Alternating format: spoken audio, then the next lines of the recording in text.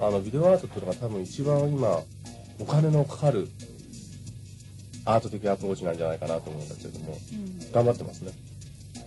そうですね、うんうんうん。コンピューター使ったり、それからそれをビデオに撮ったりとかとにかく何か自分が考えてることをしようとするとすごいお金がものすごいかかる。からどうやってそういうお金工面してるのか私にはよく分かんなくて。うんうんどうしてんの？なんて手紙書いたんだけどそれに対しては返事がなかった。あの自分でその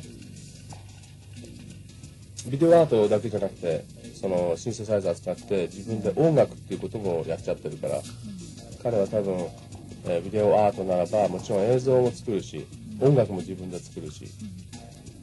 だから音楽の友達もすごく多いし彼自身もなんかね音楽に対しては割と感性があるじゃないですか。うんうん。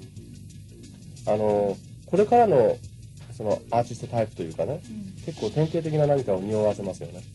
そうですね。もうなんか何や何何でもできるっていうタイプの人ですね。うん。あの特にあのメカを使いこなすっていうのはこれからのアーティストにはね不可欠の条件じゃないかなと思うそういうものをなんか最初から先天的に持ってるタイプの人うん。どんどん取り入れるっていうかねうん怖がらないでっていうかもう好きなのね。うん。機械が好きだっていう感じ受けたな雑誌イラストレーションの編集長田中弘子さんにヒューバート・クレッチマーについての印象を聞いてみました